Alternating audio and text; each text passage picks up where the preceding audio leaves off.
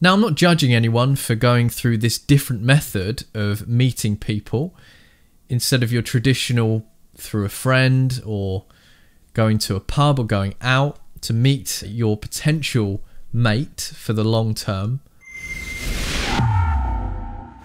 Dating has probably changed drastically over the past decade due to technological advancements, where not only do we now not really tend to meet people in the conventional way anymore by, I don't know, going out to a bar, pub, or even meeting through friends or other means, it's now being pushed towards this, where you can go onto a dating app and meet potentially the love of your life through your phone. But there is something to be said about these dating apps and how they're not all as inclusive as you may think. Since the pandemic hit, it is of course been quite difficult to meet a lot of people um, to try and find your compatible mate. So people have signed up to a lot of these dating sites. So in this report, I'm going to be going through three of the biggest dating apps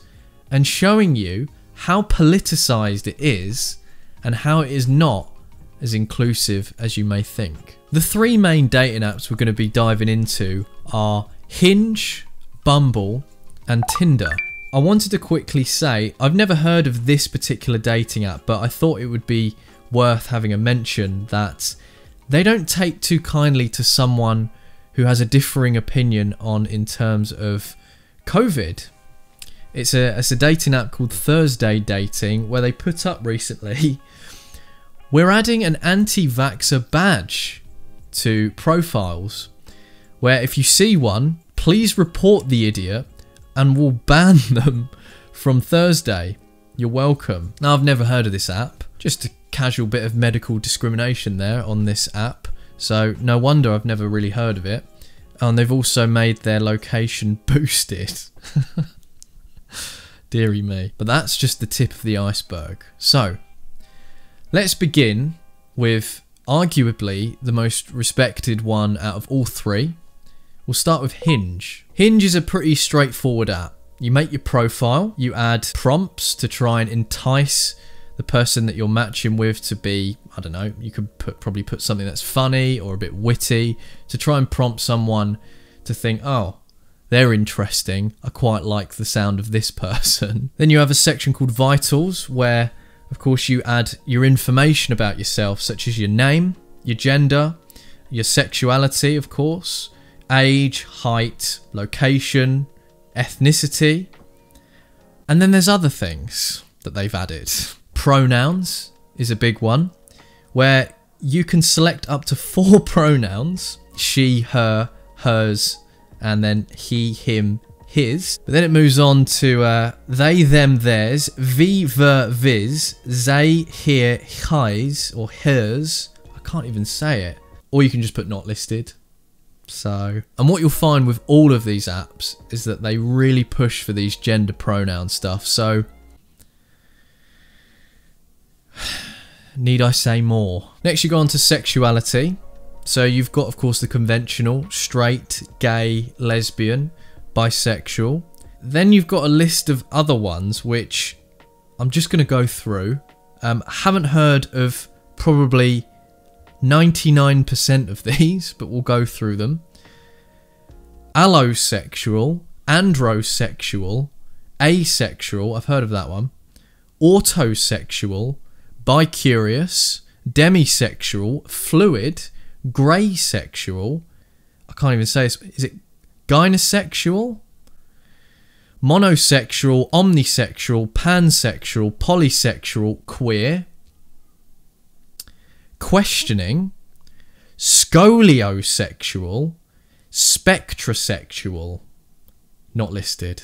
I'm not sure if this is going to be YouTube friendly. There's not much else other than children, if you have children or not or family plans if you don't want children, want children, or you're open to children. You can also toggle whether this is visible on your profile. And then you've got the COVID vaccine. Yes, you can put your vaccination status on it. What I find interesting with this though, there are only three options other than prefer not to say, and that's vaccinated, partially vaccinated, or not yet vaccinated. Pretty bold assumption there. Not yet vaccinated. Okay. Next, you have your virtues, so your place of work, your job title, school that you went to, education level, religious beliefs. You got the traditional Christian, Catholic, Jewish, Hindu, Muslim, Buddhist, interesting, agnostic, and atheist. Spiritual though. I don't understand what that means. And then the one that puts the most people off and creates more of a divide politics. With four options to choose from liberal, moderate, conservative, or other. It is no surprise that if you have conservative on your profile, that um, you're not going to get as many matches as if you put liberal. And then last but not least, Hinge has got vices, they've called it, where you show that you're a drinker, you're a smoker, marijuana, okay, and just drugs in general. They've also added a preferred preferences tab where if you pay for an upgrade, you can choose if there are particular types of people you'd like to match with. For example, politically, if you wanted to match with someone who's just liberal, you have that option to do it, but you can only pay to do that.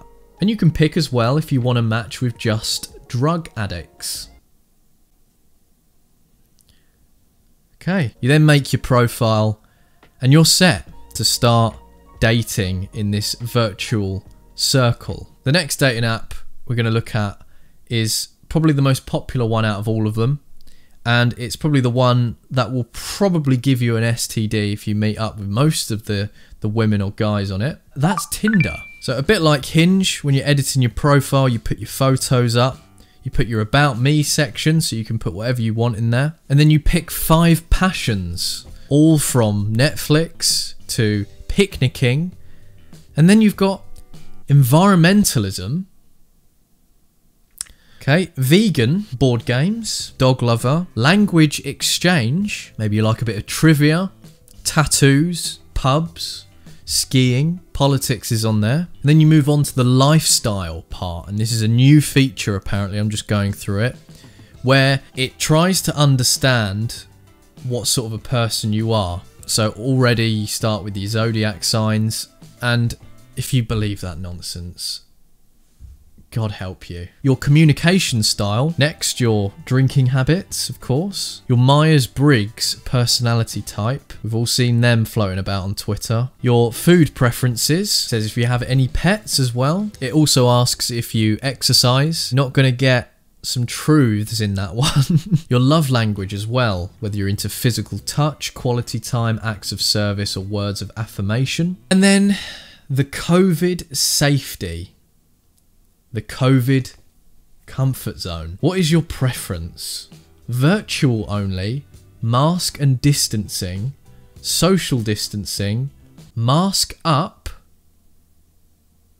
or no mask and social distancing. Here's the thing that people have been noticing about this app, however.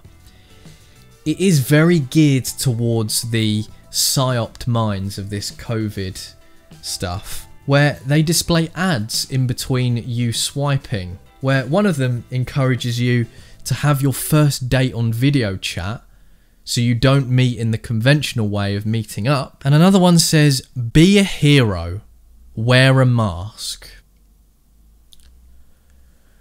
They have profile stickers where you can put things such as getting vaxxed soon, vaccines save lives, immunity together, and display that you are vaccinated. Peak virtue signaling. Next is the safety center, where it shows you tools on how to unmatch someone, have privacy settings, and how to report someone.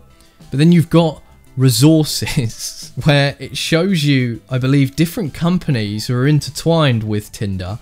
And I just want to read some of them out. You've got a company called Sexwise who give you consultation on STIs, STDs, contraception, pregnancy, unplanned pregnancy, the whole shebang. The NSPCC, Missing People, Action Fraud, the LGBT Foundation, and Stonewall. We've all heard about Stonewall. Oh, and they also have a partnership with the NHS, where it says to find out if you're eligible to book a vaccination appointment now, please visit the NHS site. And last but not least, we have the worst one, in my opinion, of them all, and that's Bumble.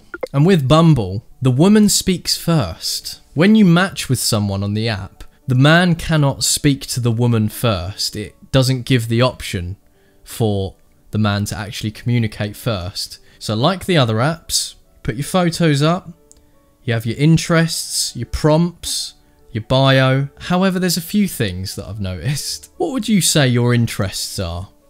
Maybe it's hiking, maybe it's cooking or some sort of sport activity. Maybe you're into boxing. You'd think that they'd be conventional styled interests. Well, they've added things such as values and traits and Bumble's values and allyships. So let's start with values and traits. You've got things such as ambition, being active, being family orientated, being open minded, but we know that anyone who has that on their profile, they're, they're not.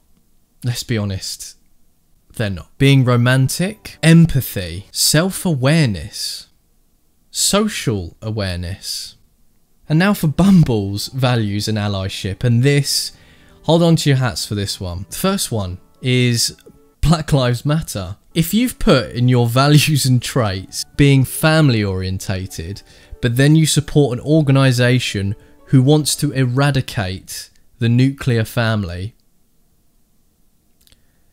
you need help. Environmentalism, of course. Feminism, human rights, LGBTQIA plus ally, stop Asian hate, trans ally, voters' rights, and lastly, the COVID dating part of Bumble, where you can pick your COVID preferences to meet virtually, meet in real life, or you're okay with both, and that you're happy to meet outdoors only, indoors, or open to any setting. When meeting, you want to be socially distanced, or if you're happy to distance, or it can be relaxed. If you're happy without a mask, or masks are a must. Whilst these dating apps harvest your data, and I read an old article saying someone asked for their Tinder data and it sent 800 pages of their deepest, darkest secrets, where it knows the ins and outs of your personal secrets to help with their algorithms. If you've had an argument with your husband or wife because you may disagree on an opinion or a stance you may both have on COVID or something else, don't get divorced. I'm fighting big tech censorship to bring you a voice against these divisive vaccine passports. Now, whilst I talk to you on camera, we have a designated set of people to help set up this giant petition and a special website for you to visit and sign your signature. My promise is to hand deliver these signatures to the doorstep of the Houses of Parliament. So visit www.fightvaccinepassports.co.uk and have your say.